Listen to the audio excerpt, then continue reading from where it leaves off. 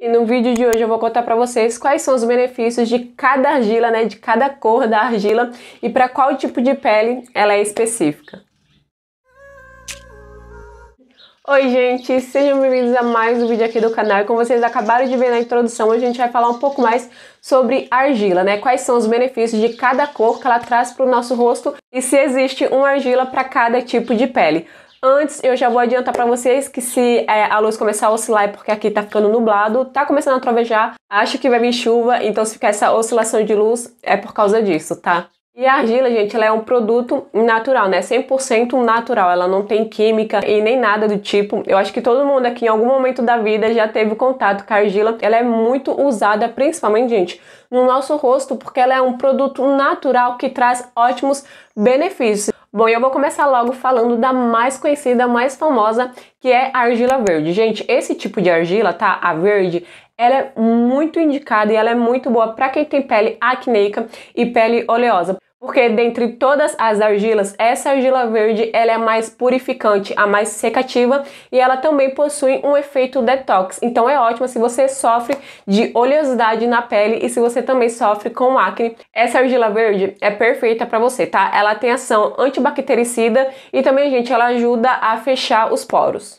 E a nossa próxima argila é a argila amarela. Essa argila, gente, ela é rica em silício e ela é muito muito boa para estímulos de colágeno, firmeza, elasticidade e rejuvenescimento. Essa argila, gente, já é uma argila muito boa para quem tem peles mais maduras, tá? Ela também controla a oleosidade. Gente, vocês vão ver que todas as cores de argilas, né, todas as argilas, ela controla a oleosidade, mas a argila verde, ela controla assim demais, demais, demais. Se você não tiver o cuidado, você pode vir ressecando a sua pele. Então, se sua pele é oleosa, a melhor que eu te indico é realmente a argila argila verde. Já a argila branca, gente, ela é mais recomendada para quem tem pele mais sensível, porque é uma argila que possui o pH bem próximo da nossa pele, então ela ajuda a manter a pele ainda mais hidratada. Ela também tem ação clareadora de manchas e também, gente, ela tem ação cicatrizante e anti-inflamatória. A argila vermelha ela é rica em óxido de ferro, silício e cobre. Ela possui propriedades regeneradoras, hidratante e antioxidante e ela é muito boa também para quem tem a pele mais madura. Mas também ela é uma argila que pode ser indicada para todo tipo de pele. Agora a gente vai falar sobre a argila rosa, que é uma mistura da branca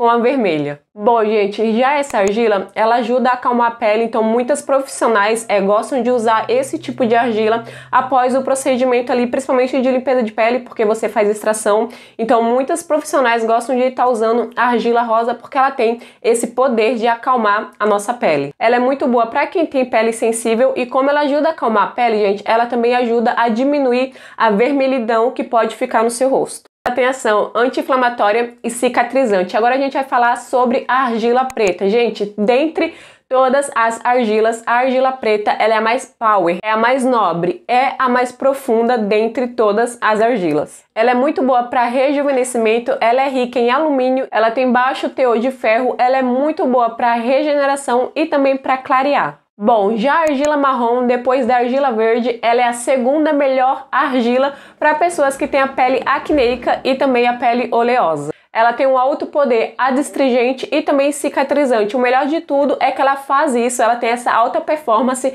mas faz tudo isso sem ressecar a pele. Agora a gente entra para nossa última argila, que é a argila roxa.